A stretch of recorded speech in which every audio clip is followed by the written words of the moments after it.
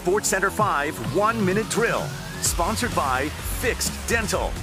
You see this pink heart on my lapel tonight. The initials HW stand for Heather Walker. When you watched that Celtics championship team of Garnett, Pierce, and Allen back in 2008, you may have seen Heather Walker celebrating along with them. She brought enthusiasm and spark and sparkle for her decade and a half as a Celtics communications executive.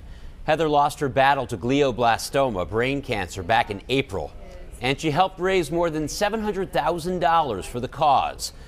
This morning, in an understated celebration of her life with her family there, the Celtics dedicated the media workroom at the Auerbach Center, the Heather Walker Media Center.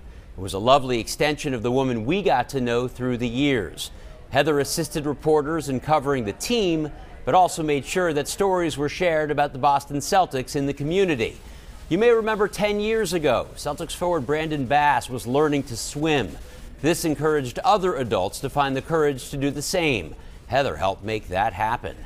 These letters HW, they stand for Heather Walker, but with her legacy left behind, they might as well stand for hope and wonder. Maria and Ed. That was beautiful, Josh. Well put, Heather Josh. was a force and a magnificent human being, She sure was. one of a kind. And it's it's nice to have the memory with the with the media workroom. That's, oh, that's what a, a, great wonderful touch. yes. It's just every day a constant reminder that she's she's with them every day. Walked in a room and lit it up. So She so that's did.